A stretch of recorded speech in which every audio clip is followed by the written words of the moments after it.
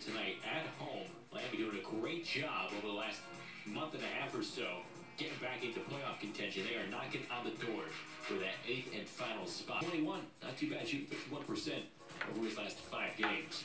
We go back to Sacramento, 32-24, Hornets in front. Not to be optimistic about 1-12. No widać jednak Sacramento w dalszym ciągu mają problemy.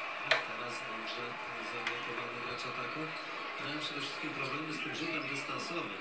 Jego na póki co nie ma. E, Charlotte zamieściło strefę podkoszową. No i ten wynik bardzo skromny teraz po stronie gospodarczej. Wiem, że obie drużyny mają problemy z, ogólnie z rzutami z gry.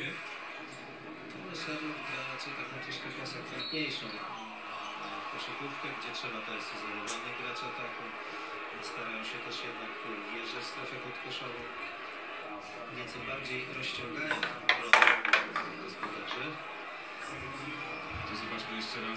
jak upadł na parkiet Kolstein. Tak jest, troszkę taki na, No, na tą lewą rękę. Domeczka. Tak, no, na tą lewą rękę całe szczęście nic się nie stało. Miał zabezpieczenie, jak widzimy tutaj. Malowane też.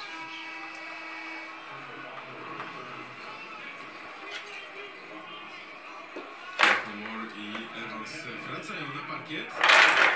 Parkiet na razie w tym spotkaniu. Celny rzut, e, dwie niecelne trójki. Po zatrzymaniu i tego rzutu dystansowego nie było, który mógł rozciągnąć zielony gość.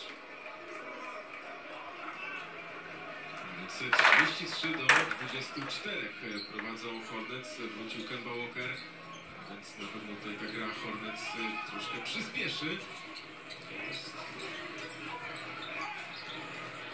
Też e, widzimy długo ta akcja trwa po stronie.